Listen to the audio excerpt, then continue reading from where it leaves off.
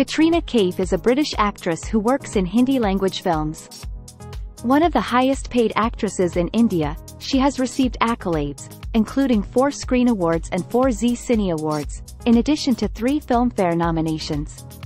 Though reception to her acting has varied, she is noted for her dancing ability in various successful item numbers. Kaif was born in British Hong Kong with her mother's surname Turquotte, also spelt Turcotte, on the 16th of July 1983. Her father, Mohammed Kaif, is a British businessman of Kashmiri descent and her mother, Suzanne, also spelt Susanna, is an English lawyer and charity worker. She has seven siblings. One sister, Isabel, is also a model and actress. Kaif's parents divorced when she was a child, and her father moved to the United States.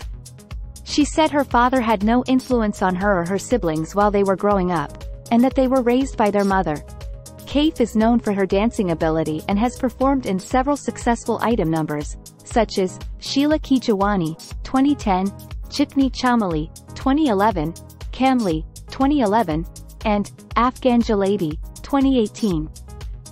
She has also sung several songs in her films, including Terry Aur, 2009, Ishq Shava, 2012, and Afghan Jalebi, 2018.